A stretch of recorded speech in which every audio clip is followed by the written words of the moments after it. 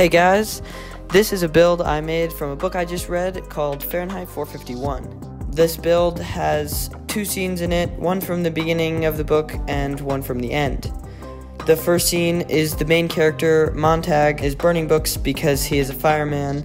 Then, throughout the book, he realizes he was burning books without even knowing what was in them. So he takes some of the books and becomes a convict and has to run so the second scene is of him running out of town into the nature or the forest. The main technique I used in this build was the SNOT technique. SNOT is an acronym for studs not on top, meaning that the studs of the brick go in different angles and directions. I used this on the back of my first scene and on the bottom of the whole build. I like this technique because it makes your model stronger while still adding detail and making it look better. I also use this technique to make my tree a little stronger from the second scene.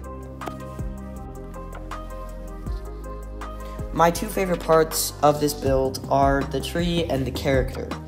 The tree starts with a strong base and then I took a fishing pole piece to make it not just stick straight up because trees rarely grow perfectly straight.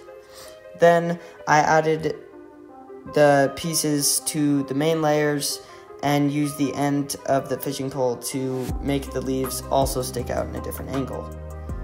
And this is also when I used the snot technique again to make that different angle stay stronger and not fall off. Then, for the character Montag, I have two models.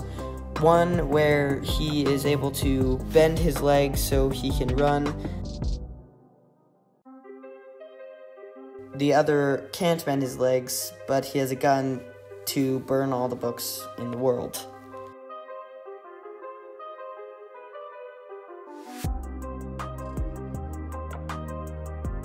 And again, I used snot bricks for most of this figure.